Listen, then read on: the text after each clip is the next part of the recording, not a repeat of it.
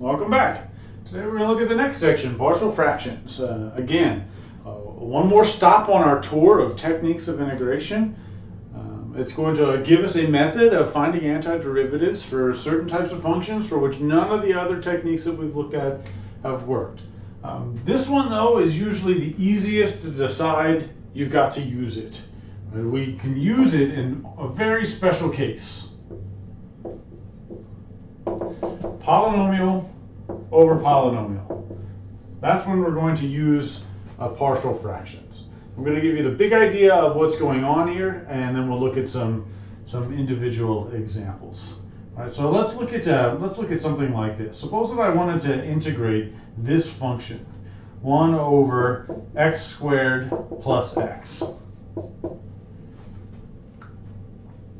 A u substitution doesn't work because no matter what I let u be, I can't find its derivative. It's not parts because there's not a product. Uh, it's not a trig substitution because it's not uh, an x squared plus 1 or a 1 minus x squared. And so none of our favorite things so far are going to work for this integral. And so the idea here is to, to look at this as x, x plus 1, I factor an x out, and now I'm going to do something a little clever with this 1 over x times x plus 1. So I'll come back to the integral in a minute, and let's, let's think about it like this. So 1 over x, x plus 1. Here's the idea. I can actually rewrite this using some algebra, do some algebraic manipulation, rewrite this in a way that's going to allow me to integrate this function. Um, okay, so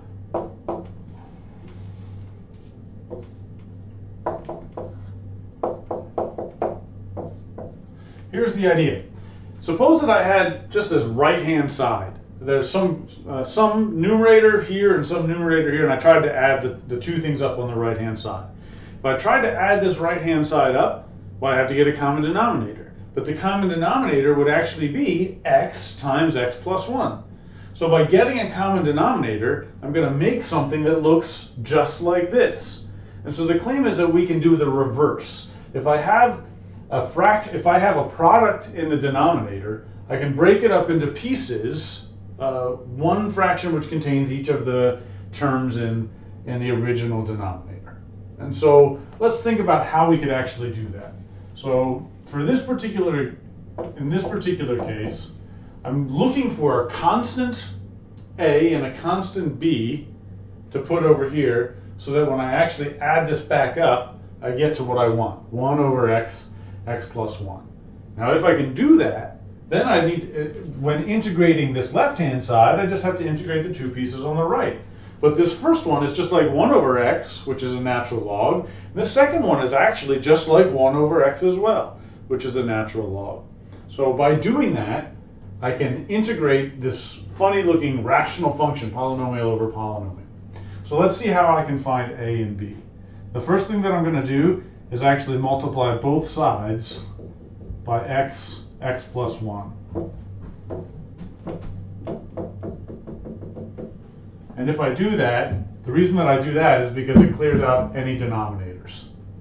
I get a 1 on the left if I multiply this through, then the x cancels and I get a times x plus 1. If I multiply this through, the x plus 1 cancels and I get b times x.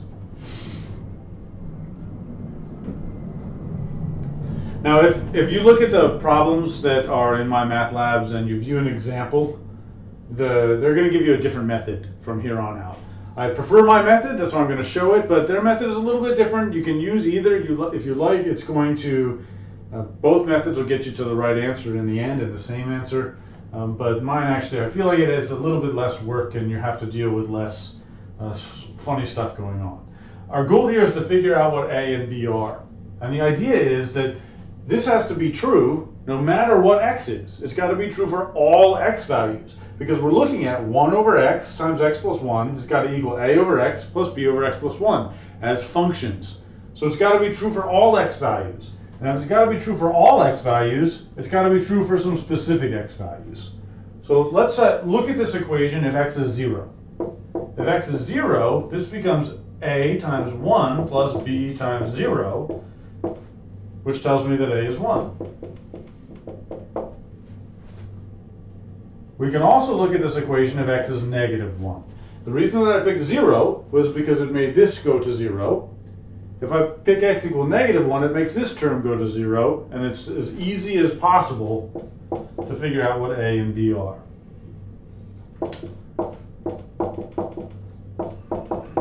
So this becomes b, negative b is 1, which tells me that b is negative 1. So now I know a and b. So what we've discovered is that 1 over x, x plus 1 is a, which was 1, and b, which was negative 1. And we can check that.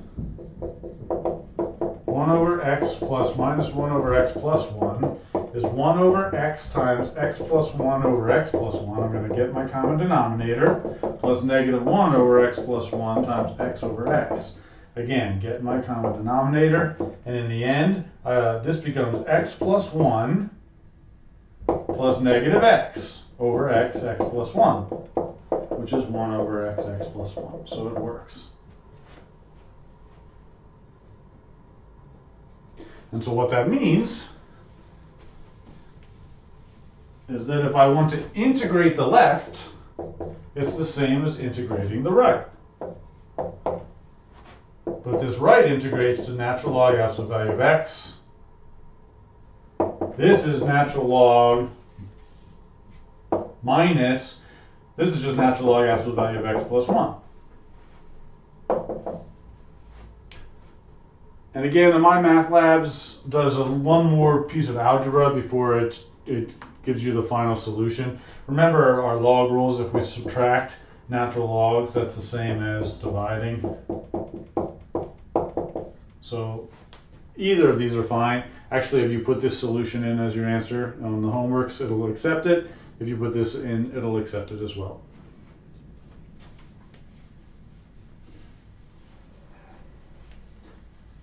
All right, let's look at one that's a bit more complicated.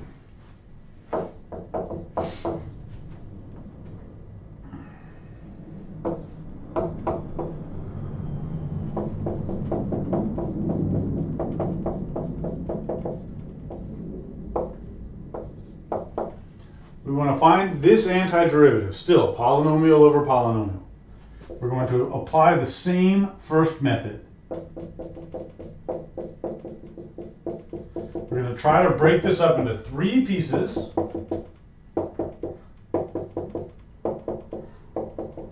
Each of which has a numerator. Now we'll see, we'll talk about this more in the future, but as it turns out, if our denominator is a linear factor, when we break it apart, the numerator just has to be a constant. Even though this has an x over here, we're going to be able to make that work. We only need one degree less uh, in the numerator. We'll talk about what to do if the, these, these denominators are even more complicated. But for now, this is our this is our procedure. If we multiply both sides of this equation by that entire denominator, well, the entire denominator cancels and we get x. If we multiply this whole thing by the entire denominator, well, for this piece, the only thing that cancels is the x plus 1, and what's left is the, the other stuff, x minus 1, x minus 2. The x minus 1 will cancel with the b term, and we'll still have x plus 1, x minus 2. And similarly, we'll have c times x plus 1, x minus 1.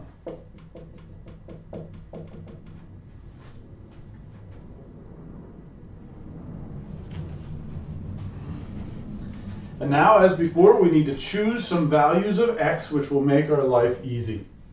The ones that make our life easy are the ones that make some of these terms go to 0. So that should be clear that if I let x equal 1, that'll make this go to 0. If I let x equal 2, that'll make this go to 0. And if I let x equal negative 1, that'll make this one go to 0. So those are our three values of x that we're going to pick.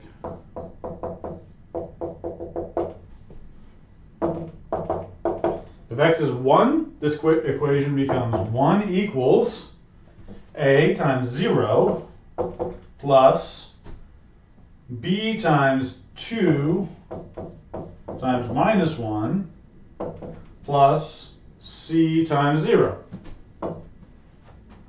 which tells me that negative 2b is 1, so b is negative a half. If x is 2, then I get 2 equals 0 plus 0 plus uh, c times 3 times 1. So that tells me that 3c is 2, so c is 2 thirds. And finally, if x is minus 1, I get negative 1 equals a times negative 2 times negative 3 plus 0 plus 0. Which tells me that negative 1 is 6a, so a is uh, negative 1 sixth.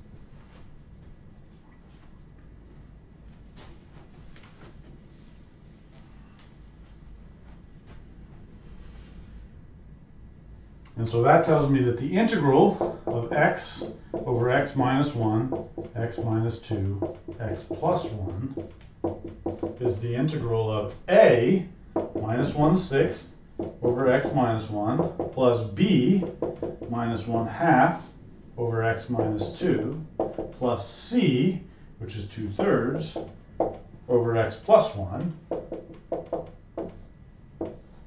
dx and all of these are natural logs as well. This is just a con, this is like 1 over x minus 1, but the constant's out front. Minus 1 6 ln absolute value of x minus 1, minus 1 half ln absolute value x minus 2,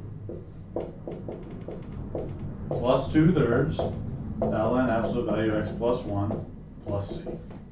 And that's the final answer. You could do some algebra with the log rules, but we don't even need to worry about it.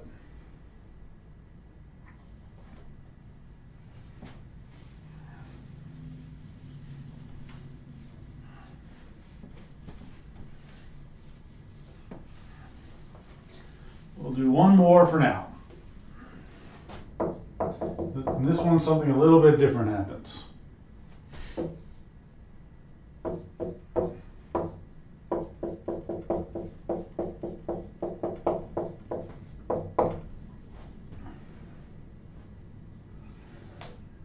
For this one, I have these two pieces, and we're going to start with the same basic idea.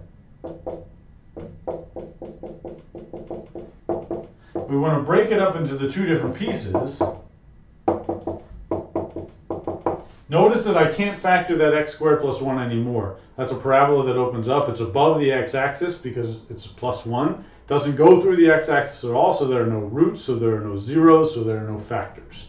Doesn't factor at all, uh, which if it did factor, we would have to factor it out and break it up into some more pieces, but we can't factor it at all, so this is what we've got. This is a linear factor, so its numerator is a constant. This is a quadratic factor, and in that situation, we need its numerator to be a generic one degree less polynomial. So this is x squared, so we need a generic x to the first power, which will be bx plus c. That's as generic as we could get with one degree less than our denominator. And then we go through the same process. Multiply everything by the denominators. That clears out this denominator and I get x squared. If I multiply by the denominator here, then x minus 1 cancels and we're left with x squared plus 1. The x squared plus 1 will cancel and we'll have bx plus c times x minus 1. And in this situation, there's only one nice value for, of x to plug in, which is x equal 1. If we plug in x equal 1, that'll make this whole thing to go to 0. But there's nothing else I can plug in for x because this never is 0. So there's no way to make that turn 0. But we'll see what to do about that. I'm going to save my original question. So if we let x equal 1, this becomes 1 is equal to a times 2 plus 0. So that tells me that a is 1 half. Now what? Well, we still need to know what b and c are. We still got to figure those out. And there's no nice values of x to plug in, so the only other option are to plug in not as nice values for x. You can plug anything you want in for x, in fact. If I can, I usually pick 0, because 0 is the next best nice thing. If I plug x equals 0 in this equation, reads 0 is a, which we know is 1 half, times 0 squared plus 1, which is 1, plus b times 0 plus c times minus 1, which becomes 0 is 1 half plus negative c, so c is equal to 1 half.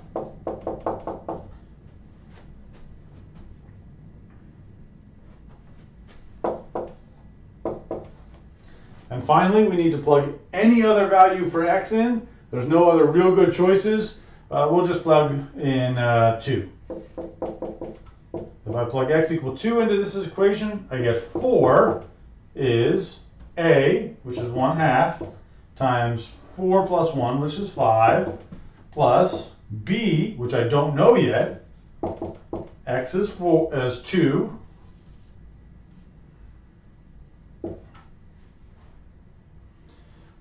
c I know, c is 1 half, times x minus 1, which is 1.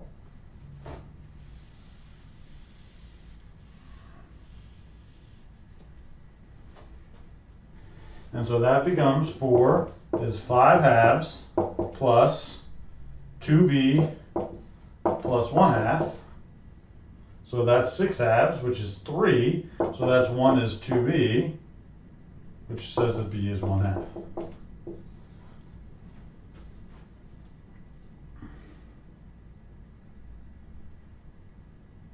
So now we can simplify our integration and say that this is equal to the integral of a over x minus 1 plus bx plus c. 1 half x plus 1 half over x squared plus 1 dx.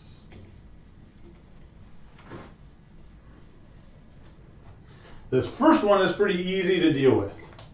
Right, the first one, I can just say that that is 1 half ln absolute value of x minus 1.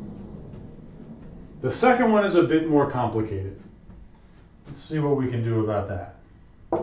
What I'm actually going to have to do, so we're going to see a bunch more of these, um, and it takes a little bit of time to recognize what's going on. This looks a little bit complicated. What I actually have to do is break this up into two pieces. I'm going to break this up into 1 half x over x squared plus 1 dx by breaking this up into the first and then the second, plus integral of 1 half over x squared plus 1 dx. Well, this I can write, I can bring that 1 half out front. And now we should be able to recognize this one. That's tan inverse from before. So this is tan inverse with the 1 half out front.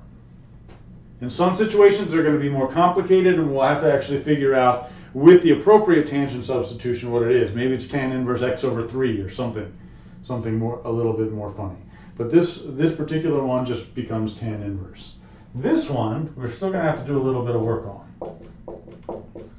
Let me still bring that 1 half out, and then it looks like this. x over x squared plus 1. And this is where things start to get a little tricky because we started off doing partial fractions.